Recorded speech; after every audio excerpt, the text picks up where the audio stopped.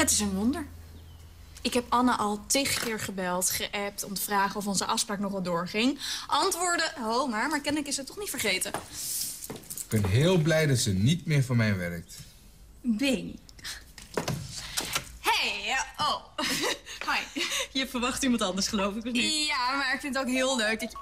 Oh, sorry. Nee, nee. Hallo, met Nina Sanders. Eh, Nina, met Joris spreek je. Is de koerier al vertrokken? De koerier? Met het draaiboek voor volgende week? We hadden afgesproken dat ik het vandaag zou krijgen. Ja, ja, nu je het zegt inderdaad. Hij had hier al lang moeten zijn. Ik zal er even achteraan bellen. Eh, anders kom ik het zo zelf al halen. Het moet vanavond naar de opdrachtgever. Ik kan me geen vertraging veroorloven. Dan kunnen we meteen samen kijken of het aan alle eisen voldoet. Ze willen tot op de minuut nauwkeurig weten hoe alles verloopt. Het moet tot in de puntjes voorbereid zijn. Tot op de minuut? Wat dacht je van tot op de seconde? Ik heb echt helemaal niks aan het toeval overgelaten. Geweldig. Eh, dan zie ik je straks. Eén uur? Ja, ja, één uur. Helemaal goed. Tot dan. Dag. Hoe laat is het?